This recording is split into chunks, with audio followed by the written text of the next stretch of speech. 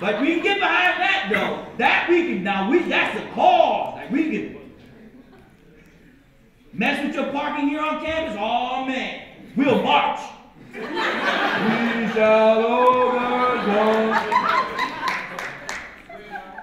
The simple things, the silly things, the trivial things. College students now, y'all can jump behind that right there, man. Get mad, somebody looked at you, file, somebody, some security guard asked you for your ID. I got ask my ID. You don't think I go to school? Get the damn ID, chief. it's really that difficult. Just ask your ID. Comply.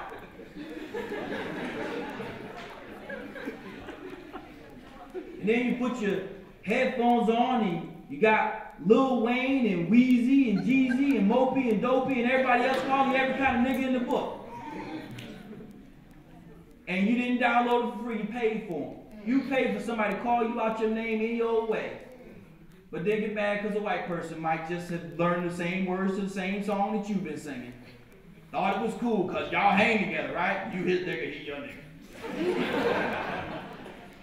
These are the things that you fight for. You waste your time. And as you waste your time, real children are dying. You ain't got to think about hating on this one, y'all. This right here.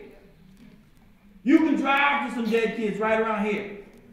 You can go visit them as they're dying, as they're tapping out. Because one of the scariest things to see is a child who has given up.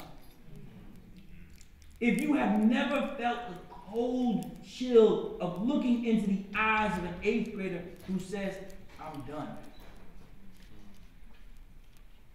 then you don't know what it's like to be truly afraid. I'm telling you what I'm telling you because you have to do something with this truth. You are too intelligent a people in order for you are too intelligent people for you to not do something about this. Something about this. So we return to our friends in Central Falls with their whopping improvement of 93% failure. And all these teachers say, if you don't pay us, we ain't doing it. For real? You really won't stay after school for 25 minutes? Are you serious? It takes you 15 minutes to put your coat on. the results are clear. They say, I mean, where's your pride, man? Do you want to be on a team that sucks? You're dead last. You have no interest. You honestly believe the only way that someone can believe that this is acceptable is to believe that these children don't deserve more. And here is where the racism comes in. And when I'm talking about racism, let me be clear. Some Black folks might be saying, yeah, get the whitey. Some white people who might lost their way, get the whitey no, no, no. It's not even like that. I don't do that. That's not my thing. I just, I'm like a rep. I just call them like I see them. There are black and white teachers in this school. When I'm talking about racism, I'm talking about racism, real racism. I'm talking about the insidious kind of racism that makes a black person comfortable seeing a black child not learn and think that somehow his blackness is different than that other person's blackness. That's the kind of racism I'm talking about. It's the kind of racism that makes a very liberal, voted for Obama white person say, well, they're poor and they're black and, you know, they have an achievement gap. But nah, man. Nah, man. You don't get a pass because you're black or because you're liberal or because you voted for Obama. You don't get a pass because it's wrong. If it's not okay for your children, it ain't okay for mine. Real talk. If I come to your house and you got barbecue ribs and you slather them up, you got bone, right? And we sit down and you pull out a salad and I got ribs in front of me, I'm gonna look at you like the devil. You ain't eating this? I don't eat that mess. That kid. Well then what? You're giving it to me for? what do I look like? I would be willing to bet that every single one of the children of the teachers in a school that cannot teach more than 10% of the children.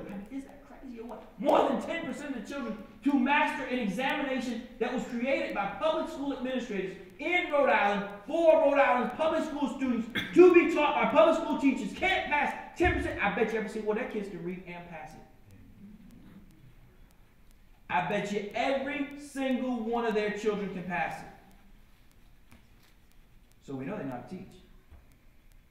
And in fact, they spend more time with the kids that they're being paid to teach than the ones that they gave birth to.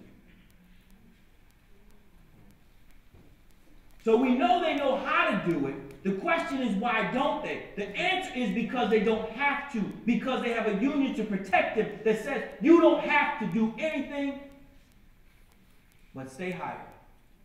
You don't have to produce any results. In fact, in some states, unions have been so effective that they have made against the law, and this is the truth, against the law to use data to determine their effectiveness. Wow.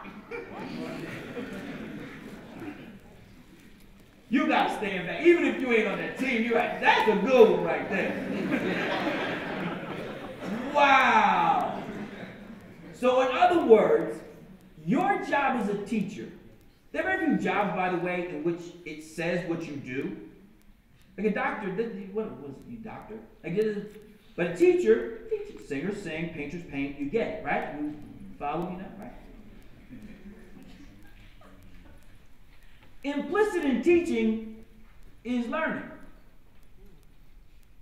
Otherwise, it's just talking. So if someone doesn't learn it, then you didn't teach it. So if this building full of teachers is allowed to stay employed as teachers, even though they're not teaching, somebody's got to be letting that happen. And these folks have the audacity to then get the kids riled up about losing the teachers. Please tell me that you understand how disgusting it is to rob a child of his education. In fact, it is illegal. I dare one of you who has a child to keep your child home for two weeks from school without any excuse. Do it, I dare you. Mr. Police Officer, come and see you. And what she he's going to say is that's educational neglect, which is a crime in all 50 states. Every single state in the union and some of our territories, it is against the law. Compulsory education is the law of the land. It is seen as a basic human right. The civil rights movement began as a fight for educational access. Brown versus Board of Education. The civil rights movement at its core was about access because it's understood back to the pursuit of happiness that in fact there's a direct correlation between a person's lifelong happiness and the capacity to pursue it when they get more education. The greater the access to education, the greater the opportunity to live a fulfilled life. When you steal, and I do mean steal, when you steal a child's opportunity to have access to an education, because if you're being paid to teach somebody, they, they're right in front of you, you got to go. Why not give it a shot?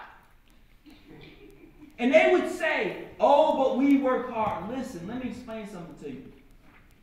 If I went to a basketball gym and I shot 200 free throws, for one calendar year, I would not become a professional basketball player. Some people just can't teach. Just because you have a degree in teach doesn't mean you can teach. Doesn't mean it at all.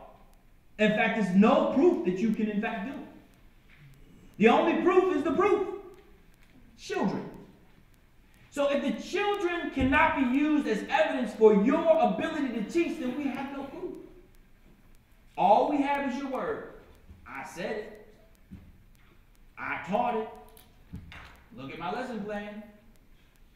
And when you go in it, this say, it does say, yeah, you know, you teach it in fractions today. Except for the fact you can't deliver the lesson. And the children are not learning.